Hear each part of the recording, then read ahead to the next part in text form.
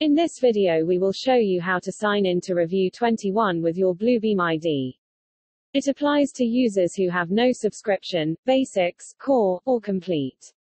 Bluebeam plans allow you to access Revu 21, Studio, and Bluebeam Cloud on up to three devices using a single login.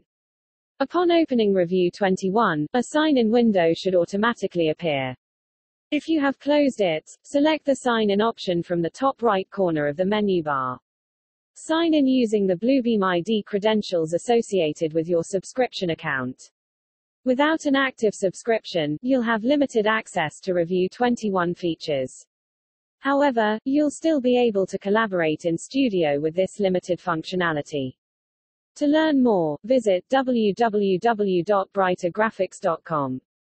Once signed in, your Bluebeam ID email will appear in the top right corner.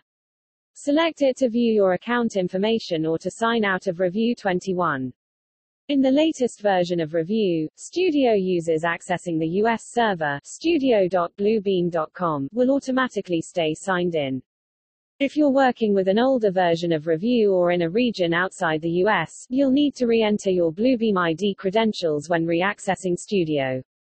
If you see package unpaid listed under your account information, the Bluebeam ID you entered isn't associated with an active subscription plan.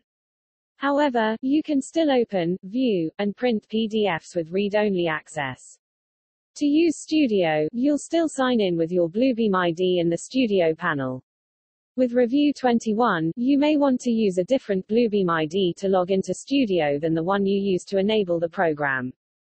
For instance, if your subscription is connected to a different Bluebeam ID than the one for Studio projects, you can enable Revu with one Bluebeam ID and sign into Studio with the other.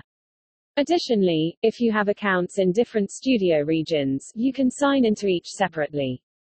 Once you've enabled Revu 21 with your Bluebeam ID, open the Studio panel which should be located on the left side of the screen.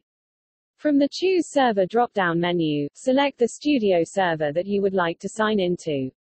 Ensure that Use My Revu login credentials is unchecked. Click on Sign In. A new window will pop up. Here you can sign in using your desired Bluebeam ID or create a new account if need be. To sign in with a different account, select the Studio drop-down menu and choose Sign Out. Then sign in following the same steps as mentioned earlier in the video.